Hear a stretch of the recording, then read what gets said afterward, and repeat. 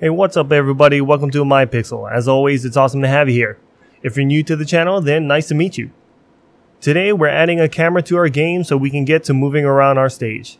It's getting a little old being trapped in that little box of ours with no place to go, so let's not waste any more time and get right to it.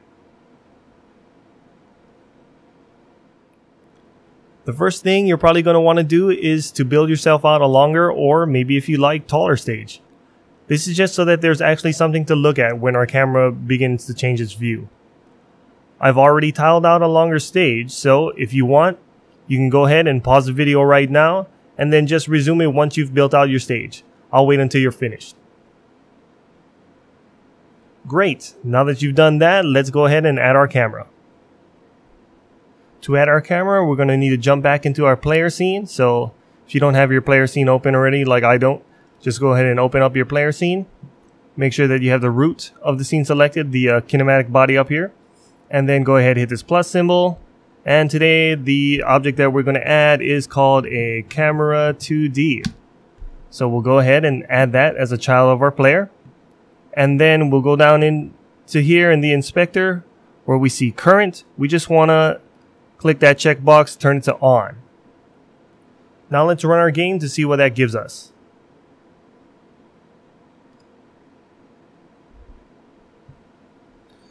Okay, let's do a little bit of moving around. Okay, and as we can see, this actually does the trick. Just that. Just adding that camera and checking that current to on, we now have a working camera. Well, kind of. So the camera is following our players moving nicely and we can progress on in our stage. That's good. However, it's going to take a little more work to get things looking nice. For starters, the camera movement may be a little bit too erratic for some people's taste. I don't know if you can see here. At least it's a little bit too erratic and jumpy for my taste. So we're going to go ahead and fix that. Make it a little bit easier on the eyes. To do this, let's make sure that you have your camera selected and then we can go back down into the inspector and this section where it says smoothing, right? We have this enabled. We're just going to set that to on.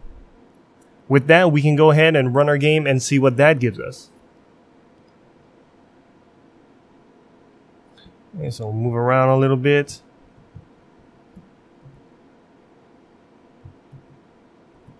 All right, that looks pretty good. Can can you all see the difference?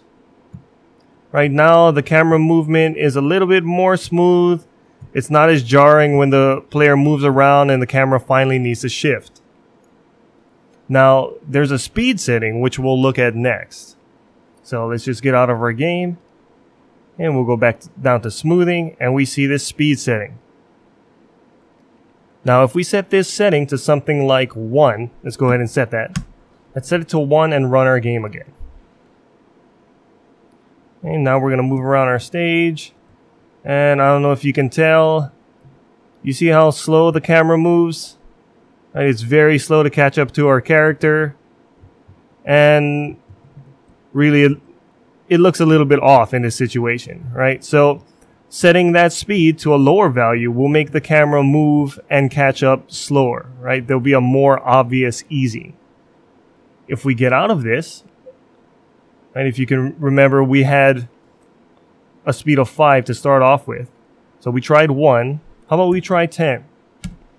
So we'll try 10 and give it another go. Now, if we move around, we see that the camera is much more responsive than it just was at 1. It's more responsive than it was at 5. And so even though that there's still a smoothing as in and an easing, it's less obvious so maybe for high combat style games, maybe some of you might prefer that the camera adjusts quicker. But you know, to, to each his own, right? If the camera adjusts too quick all the time, like I said, it gets a little bit erratic and jumpy. It's a little bit hard on the eyes. And, you know, as the player of the game, you might tire out quicker. It's much easier to look at something smooth, provided it's not too slow, like when we had the settings set to one. So, um, yeah, you can feel free to play around with this until you end up on a speed and setting that you like and you think works for you. Alright, so with that, we have to fix some other stuff. The next thing up on our to-do list is that, as you can see, the camera is scrolling and it's letting us see outside the boundaries of where we tiled our stage. Now, I'm guessing you probably don't want this. If I'm right, then uh, I guess you can follow along and we'll go ahead and fix that. Let's jump out of our game. We're going to go into our camera 2D's object settings and take a look at the limit section instead. So here you see smoothing and limit. We'll just close smoothing, expand limit. Okay, so here is where you set the limits which the camera is not allowed to scroll beyond, right? You see left, top, right, and bottom. Currently, we have some insanely large numbers set to these limits. And so at the left, you can go negative 100,000 pixels. To the bottom, you can go down 1 million pixels. So what this means is that let's say we just had a hole, it was a bottomless pit, our character fell in the pit.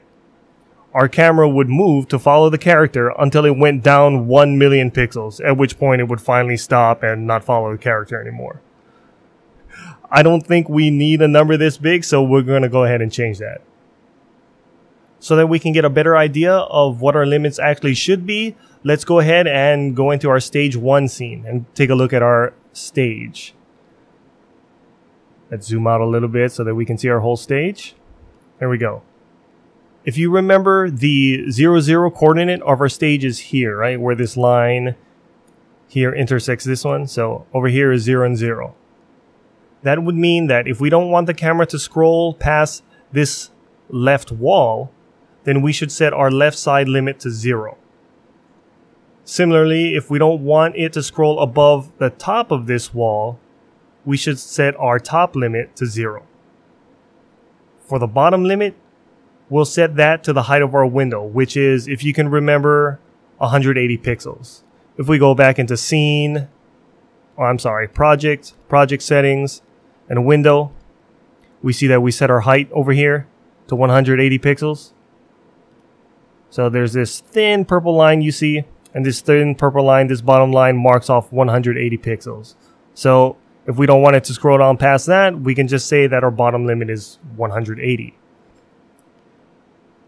In the event that you want to set it to something else, you can simply zoom in and use the rulers to get the exact coordinate that you want. So say we don't want 180 180 is over here. We want it actually to the bottom of where we tiled. Then that would have been a 192 and then you could set it to 192 for our right side limit we're going to need to do just this same thing and take a look at the rulers. So let's zoom out a little bit.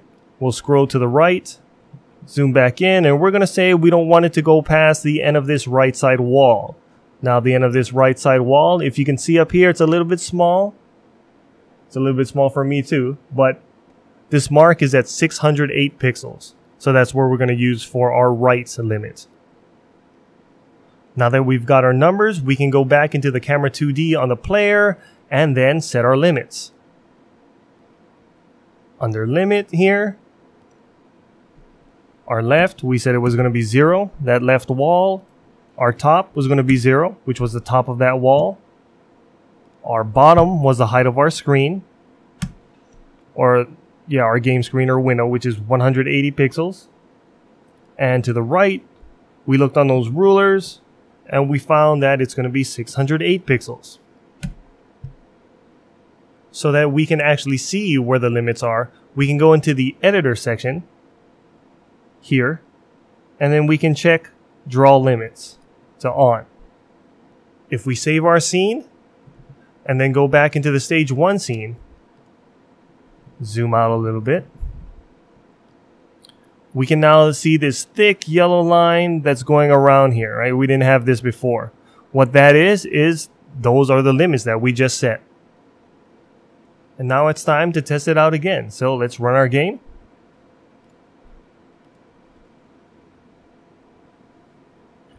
Okay, let's start moving around. Shoot this guy over here. Just to start, we can see that the camera won't let us scroll past this left wall. It won't let us scroll past the bottom of the screen.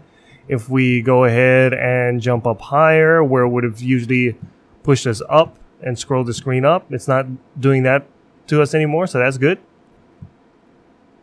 Moving along in our stage just fine. Shoot some of these bad guys. Here's the last guy on the right side, and we see that the camera also stops at the right side, which we marked off at 608 pixels. So everything is looking good. The camera no longer scrolls outside of our tiled area. Today we are very quickly and with no additional code able to add a slick game camera to our game.